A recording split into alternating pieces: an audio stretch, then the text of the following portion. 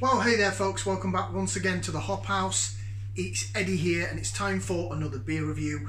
Uh, time for another Virgin beer review as well. So, if you just found us here on YouTube, uh, welcome along. This is the Hop House. We like hoppy beer, we like good house music. Do us a favour, give us a thumbs up, give us a like, share, and subscribe to this channel. Help us grow. Okay, then. Um, Virgin beer review time. This is a Virgin brewery as well, or a Virgin I'll say Virgin Company. I've not heard of this company before. Um, so, friend of the channel, Andy, uh, he got a pack of beers and uh, he kindly gifted me this beer.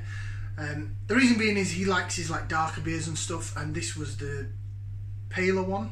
So he said, "Oh, do you, do you want to take this and review it?" And I was like, "Yeah, yeah, sure. If you don't want it, yeah, cool. Thank you very much." It came as part of a multi pack. I think there was a few beers in there. Um, I'll show you what it is, shall I? Because I'm waffling. So it's this. It's from the Snuffling Pig Company. The Snuffling Pig Company. It's Twisted Tale Pale Ale. Let's make the pigging magic happen. It says. It's 4.5% ABV. It says so there in a 330 milliliter can. Now, as I said, it was part of a multi pack. Uh, the Snuffling Pig Company. The, it came there was a pack of so many of these 330ml cans and then some pork scratchings. Again, Andy, he loves his darker beers and he loves his pork scratchings. I'm not a fan of pork scratchings. I know, sacrilege, some of you may say, but I just, I just think I'm eating like toenail clippings from pigs or something, pig strotters. It's just, it's just not for me. But you know, very popular snack. Um, and so I think that's where these snuffling pigs come from. So I'm not too sure if it's an actual brewery. We'll, we'll have a quick look and read the other spiel on the uh, can in a bit. But let's get this beer out into the glass. I've got, I thought I'd have a change up of glassware. So I've got my Ludlow Spring Festival SIBA glass for this. Nice little classic handle. Uh, I just, I think this is going to be more traditional. I can't see this being like a really citrusy American hopped beer. But I could be wrong. On opening it, there was quite a lot of CO2 release. It's quite bubbly and lively. Get the beer out into the glass. It's certainly pale, very pale actually. Pale, golden. It's clear, it's got clarity to it. That's how she looks in the glass. Ludlow Spring Festival. Um, I really want to go this year, but I'm working that weekend, so I'm going to see if I can try and book it off from work. Uh, I think it's the 12th, 13th of May, somewhere around then. Sort of the, it's actually the third week in May, not the second, because I think the 1st of May is like a Sunday or a Saturday. So it's not that weekend, it's not the weekend after that, it's the weekend after that. So it might be like the 14th, 15th. Um, go check it out, Ludlow Spring Festival. It is a little festival and they've got over 200 real ales. They've got some classic cars outside. It's in the grounds of Ludlow Castle. Anyway, that's to do with the glass. We are reviewing this beer.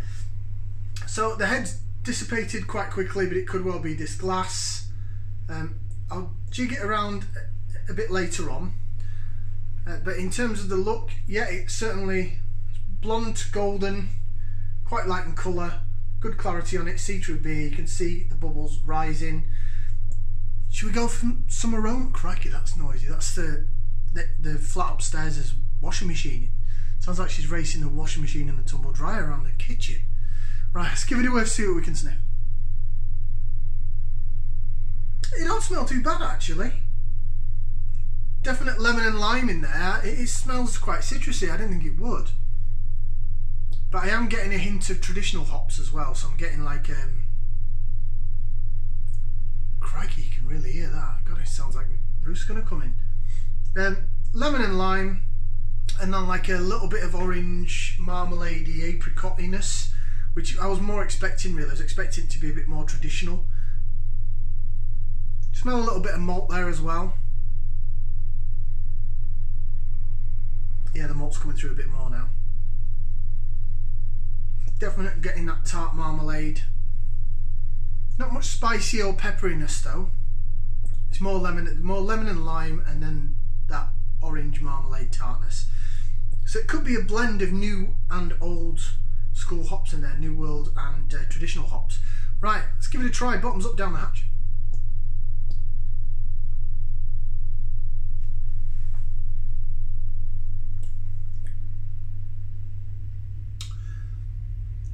Ooh.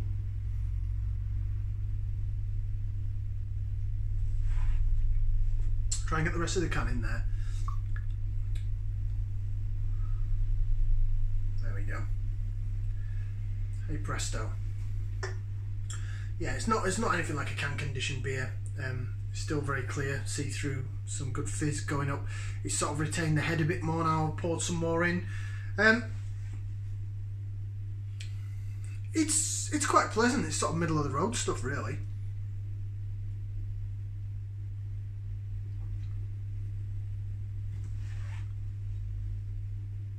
Say the body does taste a bit thin.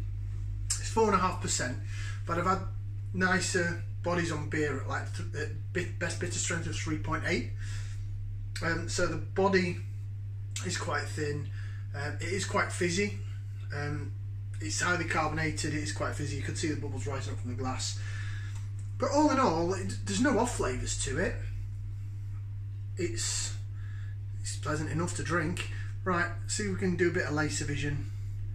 Laser's alright, isn't it? Ah. Try and do it without spilling it, which I think I'm going to do, because it's still quite full. But yeah, you can see bubbles do chase the bottom of the head of the glass. It laces fine, nothing wrong with that at all.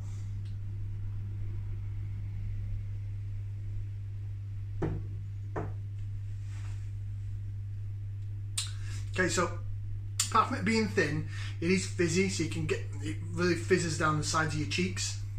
So it is quite highly carbonated. Um, definitely got that sweet malt down the middle, like sweet bread, and then uh, lemon, lime,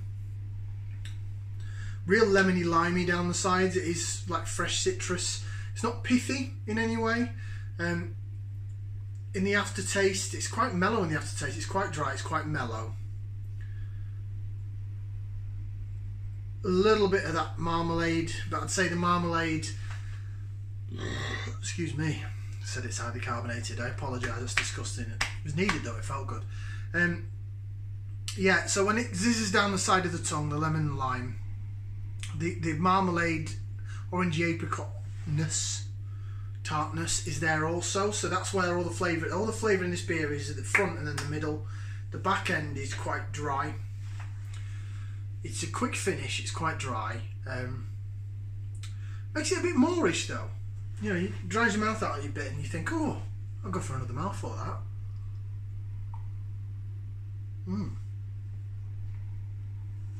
Try a bit more laser vision now. Got it sort of halfway down the glass. Look at that. Yeah, nothing wrong with that. Nothing wrong with it whatsoever. Lace is quite nice. Um,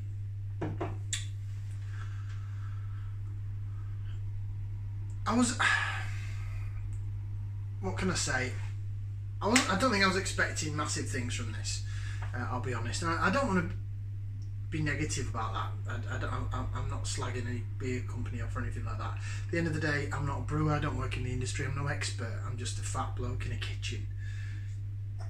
But of the beers that I've drunk, I've never heard of the Snuffling Pig Company. Uh, oh, Snaffling Pig, sorry. Snaffling Pig. I did think it was a U.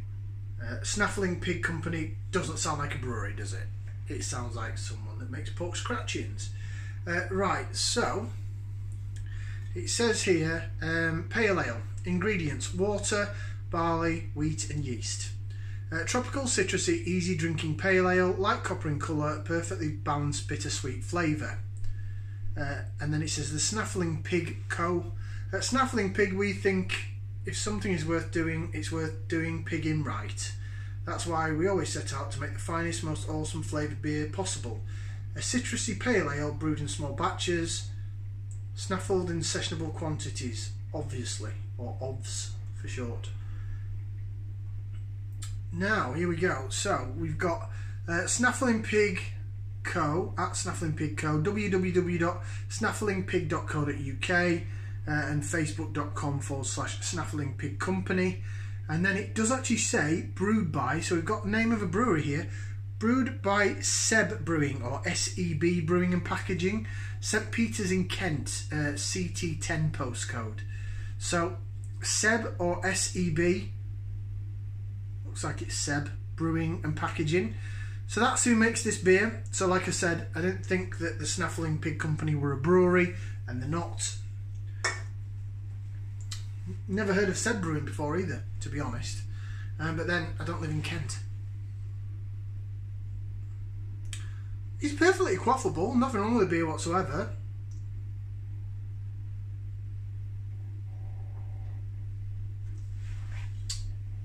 The lemon and lime zestiness is actually a nice surprise because I wasn't expecting it. wasn't expecting it at all. Um, and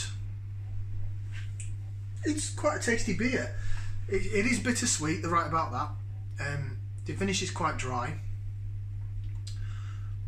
Maybe, for me, some bit more bitterness on the back end in, in the aftertaste in the finish would be my sort of cup of tea.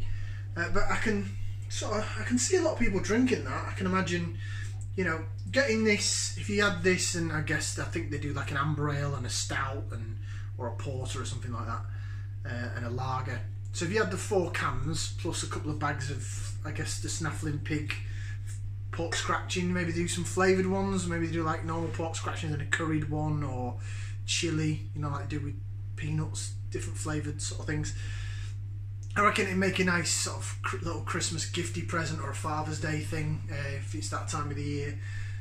And I should imagine that a lot of the beers are like this, you know, they're, they're quite pleasant to drink, nothing wrong with them whatsoever, but not really high, high calibre, I suppose. But a good solid middle of the road beer. Um, rating wise, well, there's definitely no off flavours. There's nothing wrong with it. It doesn't smell like rusty nail. It doesn't taste DMS or cabbages or rotten vinegar. Christ knows what. And it's quite quaffable. I'm getting down that in good time. So I'll give it a thumbs up. Because yeah, why not? I would. I'd have that again if I saw that. I don't know where I'd see it, but if if if I saw that, you know, in a bar and it was on keg, I'd be like, I'll try a pint of that. I'm quite interested to see what it would be like on draft. Uh, and Seb or SEB Brewing, uh, I'll, I'll look you up or keep a lookout for you and see if I can find any more of your beers out there. Thumbs up from me, like, share, subscribe. Thank you very much for watching. We'll see you next time for another beer review right here on the Hop House. Ciao for now, people.